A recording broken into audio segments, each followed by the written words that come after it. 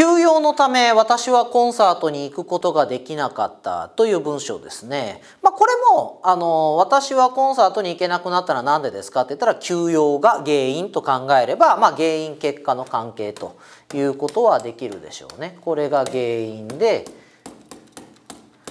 でこっちが結果かなというふうに考えることはできると思います。で選択肢をざーっと見てみますと、まあ、今回であれば動詞はプリベンティッドを持ってくるしかないでしょうね。でプリベントの語法っていうのがちゃんと頭に入っていったらもう随分この問題解くのが楽だったんじゃないかなと思います。あの特にここ「フロム」もありますからね。でプリベントの語法ってどうでしたかっていうとプリベントっていうのはプリベント A フロムまあ、この B って名詞が来ることもありますがやはり圧倒的に多いのは ING 系なんですね。はい、これで A が V するのを妨げるというふうに訳すことが多いですね。あとは、はい、原因にあたるものは何でしょうか？今回だったら選択肢ざーっと見ると休養にあたる表現でこのアージェントビジネスでしょうね。これが休養としてここに入ってくる。で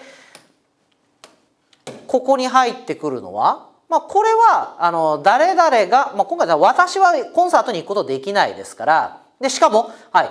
ING 系で Going って来てるんですね、まあ、当然これ Go するのは誰ですかってこいつですからということはじゃあ私っていうのがここに入りそして From はもうここで使いますからねであとは Going がここに入ってくると。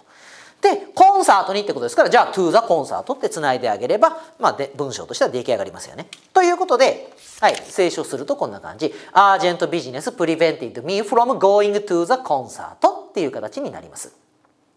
まあ、プリベント以外でもヒンダーとかね、プロジビットっていうのも同じような表現になります。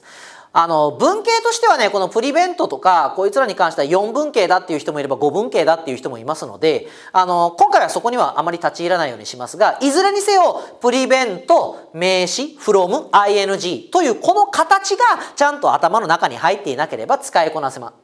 使いこなせないってことになりますし逆に言えばそれが頭に入ってさえいればほぼほぼこの問題って単にその設計図もう一回見ましょうか。この形ね。プリベント名詞 from ing ここにそれぞれカポカポはめていけば済むお話ですのでしっかりとこの基本の形というのを押さえておくようにしてください。